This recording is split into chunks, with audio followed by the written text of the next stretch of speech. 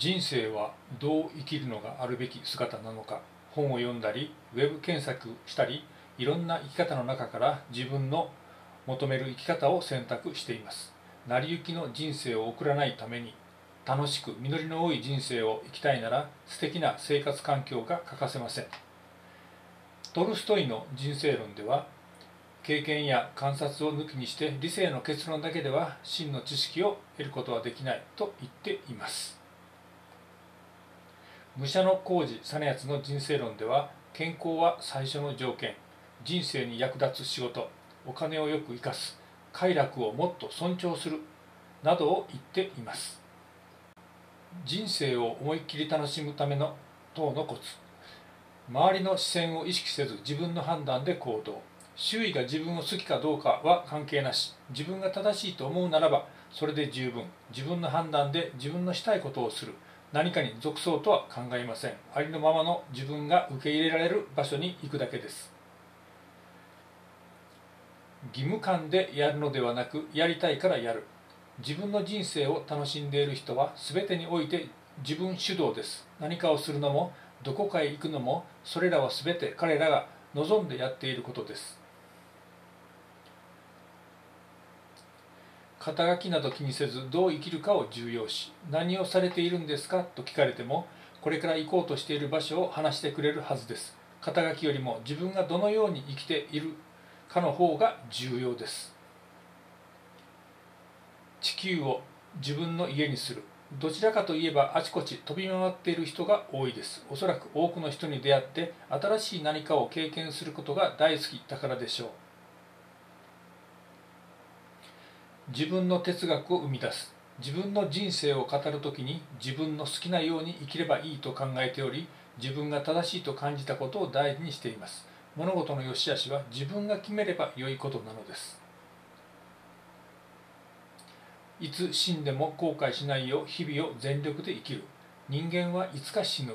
時間が有限だと知っているからこそ大事にしたいと考えるのです。いつ死ぬかをコントロールすることはできないけれどどのように生きるかはコントロールすることができます。自分が体験したことのみを事実とする。人生では他の人には体験することができない。自分だけの楽しみ方ができます。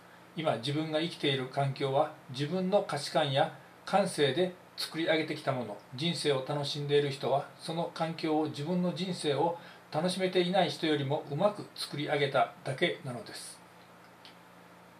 将来を見据えた目標を持つ人生を楽しんでいる人は自分の人生に期待し夢を持ち目標を掲げて生きています。その時の気持ちに正直に動きたいという思いもあります。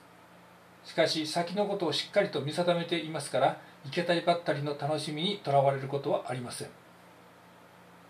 分かりやすく言うと一匹狼タイプの人は自由な生き方にぴったり。群れの中で生きるタイプの人は安定を優先しますから群れとして行動できるようにする必要があるかもしれません。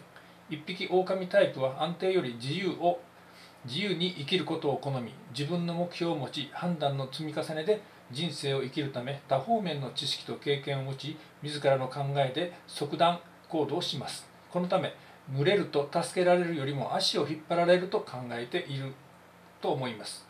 常に自由であることが自分の長所を生かすために必要だと考えています。だから群れるタイプの人から見ると異端児に見えます。多分東京レビューにはまるのは自由を優先する一匹狼タイプ、えー、自由より安定を優先する群れるタイプの人は見向きもしないかもしれません。もし群れるタイプの人が実現しようとするなら群れとして自由に生きるように意識を合わせるかあるいは群れから離れて一匹狼タイプに変身してからになるかもしれません。まず政治や社会制度年金制度税制などの範囲内で自由に生きる人生を歩みます。できるだけ正しい判断ができるよう客観的な情報に接する努力が必要になると思います。東京レビューは合法的な手段を積み重ねて隠居生活に入る人生計画立案の下敷きになることを一つの目的としています、えー、第2回目を終わりますえー、今後も、えー、継続しますので、えー、必要な方はチャンネル登録をお願いします。